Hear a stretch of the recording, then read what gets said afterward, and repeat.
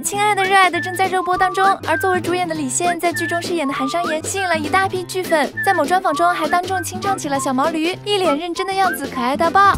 我有一头小毛驴，我从来也不骑。有一天我心血来潮，去他去赶集。